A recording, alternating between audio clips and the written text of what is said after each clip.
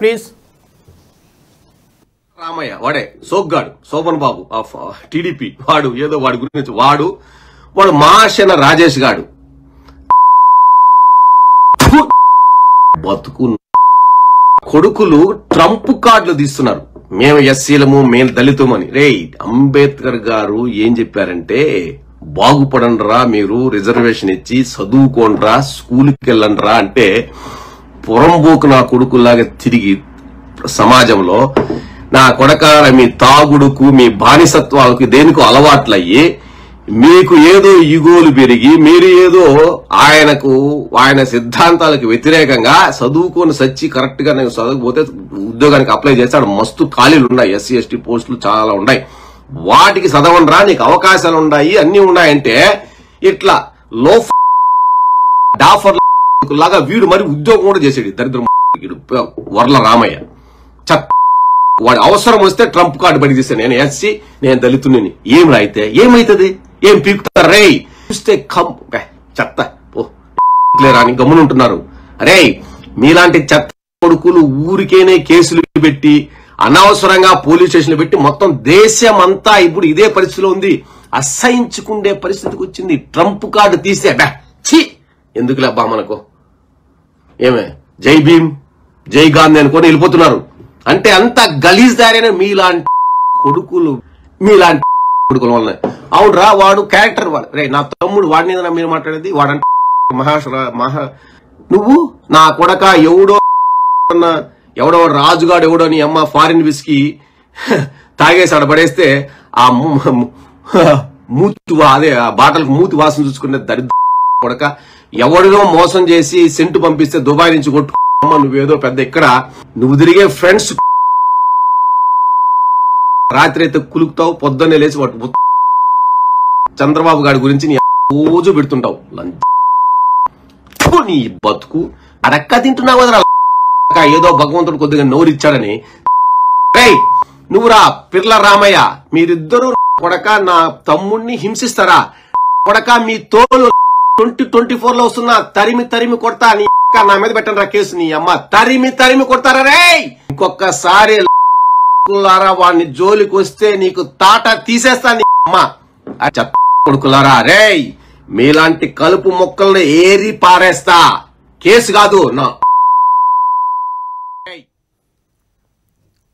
ఇప్పటి వరకు స్క్రీన్ మీద చూసిన వారెవరో మీకు అందరికీ తెలుసు. ఎలా మాట్లాడతారో మీకు తెలుసు.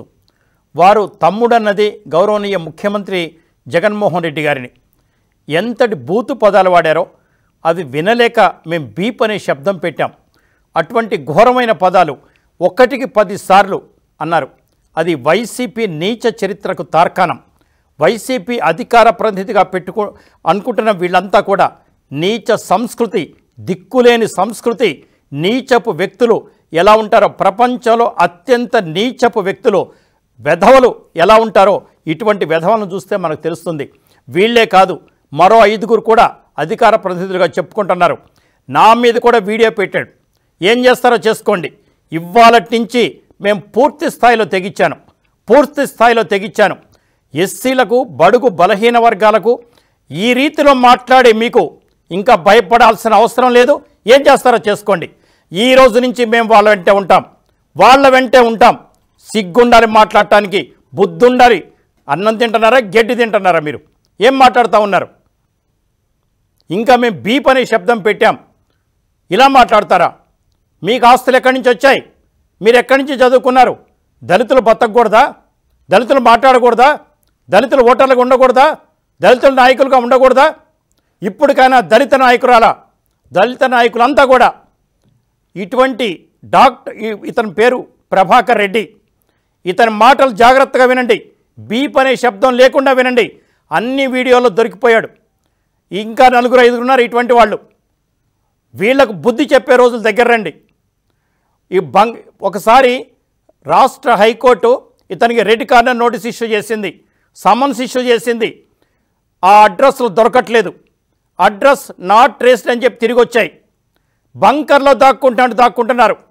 మొన్న ఈ మధ్య ఒక నల్ల జాతీయుడిని కాల్చి పడేస్తే కాల్చి వేస్తే తిరుగుబాటు తట్టుకోలేక ట్రంప్ లాంటోడే బంకర్లో దాక్కున్నాడు. ట్రంప్ లాంటోడే బంకర్లో దక్కున్నాడు. మొన్న మధ్య రష్యాలో పుతిన్ ఒక ఒకప్పుడు సైన్యాధిపతి బంకర్లో దక్కున్నాడు పారిపోయాడు దేశాన్ని వదిలిపెట్టి. అలాంటి సిచ్యువేషన్ తప్పకుండా మీకు వస్తుంది దళితులను అవమానించడం మీకు తప్పకుండా వస్తుంది. దళిత సోదరులు తిరుగుబాటు చేయండి. పోరాడితే పోయేదేం లేదు. బానిస సంఖ్యలు తప్ప ఇంకా మీరు ఇలా కామ్గా ఉంటాం పోస్టుల కోసం పాకులాడతామంటే చరిత్ర మిమ్మల్ని క్షమించదు. మహాసేన్ రాజేష్ గారు ఐఎమ్ వెరీ సారీ సార్ నాకు తెలిసి మీరు కొలిక్పూడి గారు మీలాంటి వాళ్ళు కనీసం నాకు నలభై నుంచి యాభై మంది ఫోన్ చేశారు.